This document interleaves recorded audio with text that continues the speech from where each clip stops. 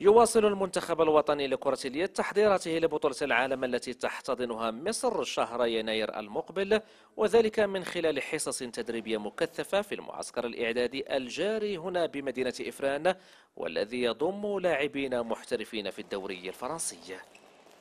Alors là, la préparation s'est très bien passée. On travaille très dur au quotidien. الاستعدادات جرت في أحسن الظروف. نتدرب بشكل متواصل خاصة على المستويين البدني والتكتيكي. الأجواء جيدة وخلال الأسبوع الجاري سنرحل إلى تركيا حيث سنكمل باقي الاستعدادات لتحقيق نتيجة إيجابية. الاستعدادات كتوز هنا في أجواء مزيانة. كيف ما كعرف الكل أن مدينة إفران كت كتوفر لنا جميع الظروف باش نترينيو كما كتشوفوا مزيان. وجائحة كورونا اللي دازت آه، كانت شوية صعيبة surtout على les joueurs locaux. ما كانتش البطولة كانت واقفة كانت les entraînements la plupart كيتريني في ديور تي كانت صعيبة شوية. والحمد لله حنا لعبنا الماتش البارح الأول كان آه، أداء جيد كل شيء كان مزيان.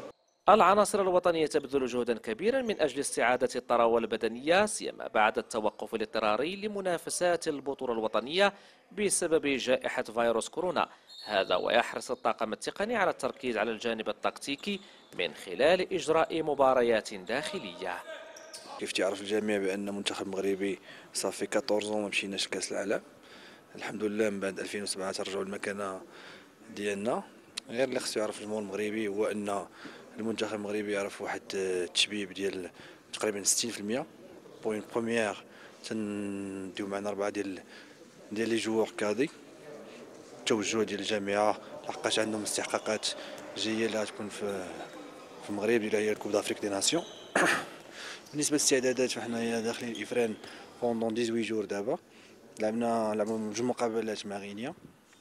من بعد غادي نتوجهوا لتركيا إن شاء الله. نتمنى نلعبوا مع المنتخب الوطني جوج مقابلات تما. وجدير بالذكر أن المنتخب الوطني سيتوجه إلى تركيا بداية شهر يناير المقبل لإجراء آخر معسكر إعدادي قبل السفر مباشرة إلى الديار المصرية.